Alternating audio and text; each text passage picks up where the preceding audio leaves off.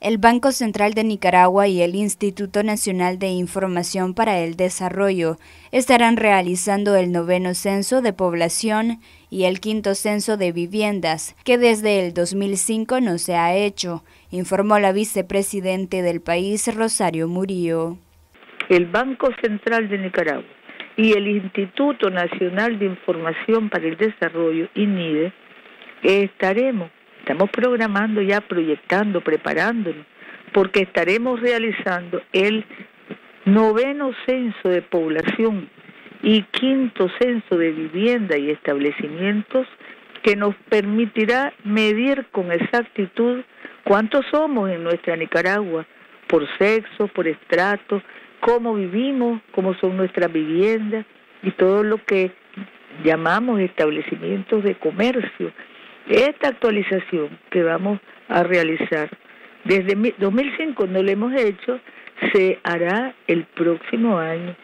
Estamos participando el INIFOM, estamos participando el banco y el INIDE que rectorea y vamos a estar otras instituciones que vayamos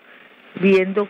que son necesarias, importantes. Asimismo, informó que realizarán el Censo Nacional Agropecuario. También el año que viene vamos a hacer el quinto Censo Nacional Agropecuario, Senagro. Esto va a ser entre el Banco Central, el Ministerio de Agricultura, el Senagro se llama ese censo, y nos vamos a, vamos, vamos a recaudar toda la información posible, necesaria, fundamental, para medir la producción nacional por rubro en todos los establecimientos productivos y fincas de todos los niveles, grandes, medianos y pequeños. Ese levantamiento nos permitirá actualizar toda la información relevante del sector agropecuario, ese sector fundamental para la alimentación, la seguridad alimentaria, las exportaciones y la generación de empleo. El levantamiento del Senagro del Censo Nacional Agropecuario se realizará en mayo del próximo año, posterior al centro al censo de población, siempre con todas las instituciones necesarias. Y vamos a hacer también todos una campaña nacional de comunicación para que nuestro pueblo, la familia, las productoras, los productores apoyen esta recopilación de información, brinden, brindemos la información